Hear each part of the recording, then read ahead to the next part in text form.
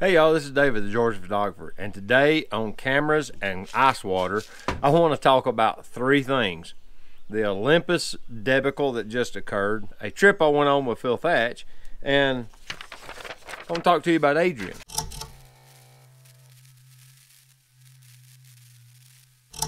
Olympus, the cliche statement is Olympus has fallen. Olympus technically hasn't went away yet they're entering into an agreement with another firm in Japan to sell the camera division to them. And by December 31st, they want to have that finalized and have it sold to this JIP group. This is really a good thing since Olympus has struggled to make money with cameras for a long time. And in the press release I read, it said they lost money for the last three straight years in cameras trying to figure out a way to make the cameras more profitable. And we saw that with this, what the latest release of what was it, the OMD Mark V, I think. It went from a metal bodied camera to plastic, and that was a maneuver probably to try and save money, eh, you know, to make the camera profitable again. Well, it didn't work. So I'm thinking that this company that's going to acquire this Olympus camera brand is probably going to go in there and restructure the system probably cull a bunch of the cameras that are not really profitable and hang on to three or four that are, and you'll probably see Olympus cameras for a time to come. There is a very strong niche market for Olympus cameras. A lot of people enjoy using them, especially in the Asian market. They're very popular in the Asian community, the whole Southeast Asia, down into the, uh, what do you call that, um, Oceania, where all like Malaysia and the Philippines and Micronesia and all those little countries, they all seem to love Olympus. So you should you should see them to continue under this other brand. They're just being absorbed. Like GE literally just sold their entire appliance division, including the logo, to a company called Haier, H A I E R. They got it all. You know, they're still making GE stoves. It's just with a different name on the company, on the building outside. So I expect that to be what happens here. That, like I said, they'll probably pare down the offerings and you know reduce it down to what to the items that they do sell that are profitable. And you'll probably see like that big flagship camera kind of go away. And maybe you know the next most expensive one if they don't move many of them it might fade into non-existence. And then you might see some new cameras. Maybe that pen will come out like everybody's wanting. Where Darren Miles talked about it with the improvements to the pen you know, you might just see that.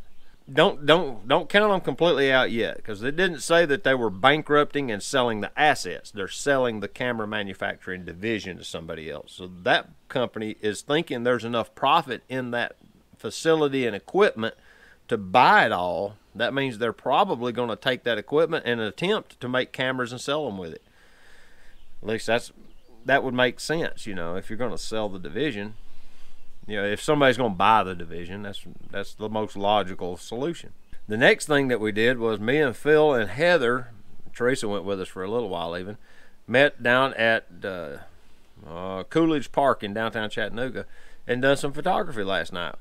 We we tried to get some photos of some kids here and there on bikes and stuff, and Phil got some photos. I got one, and then we got uh, we went down to the river's edge, and I got a nice uh, 20 millimeter. I took my 20. That's all I shot with yesterday. Carried a bag full of lenses and ran the 20 mil the whole time. Never fails. I should I should learn my lesson and just take the camera and the lens that's on it and just go because I keep doing that. anyway, I got a, I got a few river photos. You know, I got I got this one with the two bridges, and then I went on the other side of the Walnut Street Bridge with Phil and Heather, and got down at the water's edge and got this photo now I kind of like it, but I like the one with the two bridges better, I believe.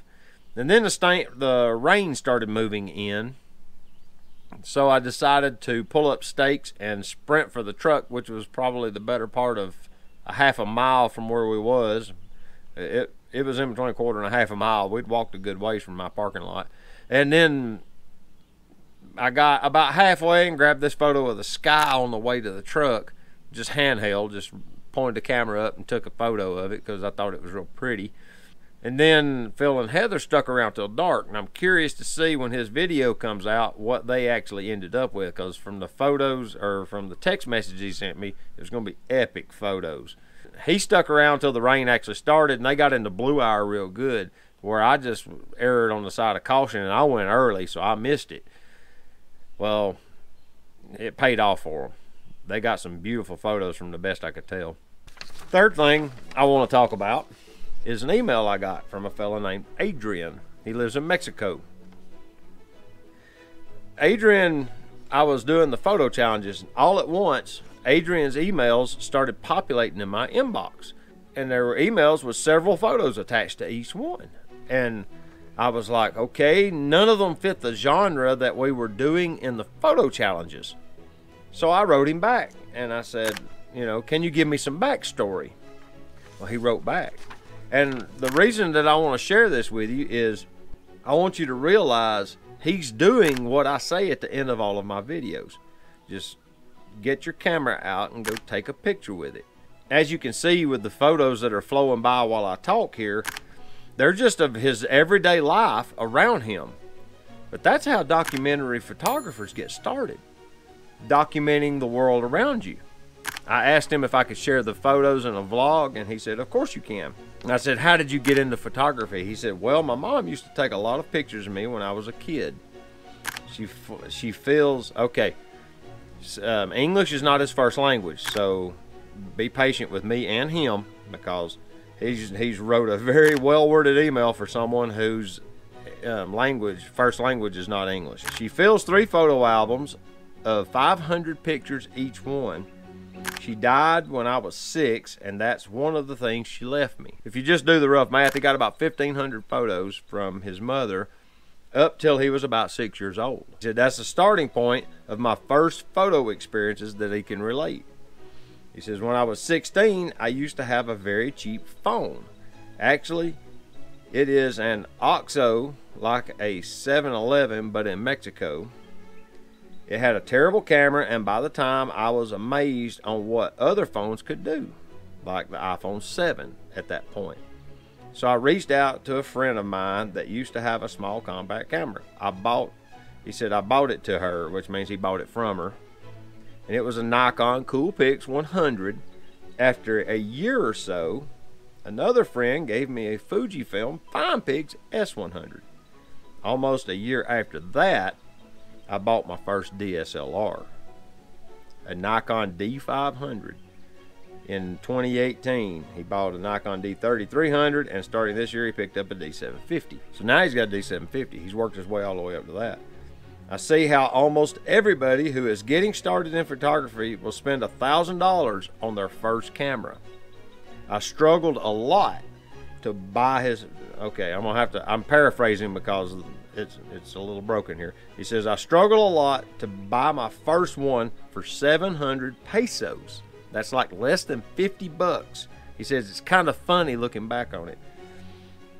He says I like how old photos look, and I'm not taking I'm not talking about how film looks, just how they are. In other words, he likes the he likes the look of the print, how they used to be document or how they used to document everyday life and to keep a register of time because time passes by and things change. That's the beauty of it. To be able to perceive those things changing even before it happens. Being able how your room used to look five being able to see how your room used to look five years ago and stuff like that. Documenting is just beautiful. Adrian Estrella. This is why I do my YouTube channel. This guy gets it. He's young. He struggled to buy his first camera, saved his money up, worked and come up with the money to buy his first camera. And now he's worked his way up all the way to a Nikon D750, which is an excellent machine. And he's using it to document everyday life in Mexico. It warms my heart to know that there are other people out there like me that just want to document the world around them and be able to just save that for future generations to, to, be able to see what life is like now. You know, if they document it on temporary media like their smartphone, then it's lost. Because if you don't print those smartphone photos, they're lost when the phone dies. They just are, or you delete them to say, to free up space or whatever, so you can put a movie on your phone. It's a sad reality we live in. Yes, smartphones are the most prolific pocket camera on earth. If I had to guess, there are more smartphone cameras in circulation than all of the DSLRs added up ever. I would, I'm probably right. I haven't done that research, but with how pervasive smartphones have become, I'm gonna say that I'm probably right. It was it would greatly surprise me if they haven't outpaced regular cameras at this point. And the unfortunate reality of that is is most of the photos that those cameras capture will be lost. They just won't they'll be thrown away. So document the world around you. It's worth it it's worth it like to Adrian when he gets to be 60 years old he can pull these photos out and share them with the younger generation and show them what life was like when he was 15 or 20 years old if you don't take those photos now you won't have them then so that's what I wanted to say and I really really really appreciated him sharing that with me and giving me permission to share it with you guys if you need inspiration to get your camera out and go take a picture with it this is it so with that, I appreciate y'all guys watching. If you haven't done it yet, the subscribe button's right over there. So is that like button. You know, you can give me that thumbs up. You can hit the little notification bell or all that jazz. So until next time, this is David, the Georgia photographer. And what am I going to tell you to do? Get your camera out and go take a picture with it. All right. We'll see you later. Bye bye.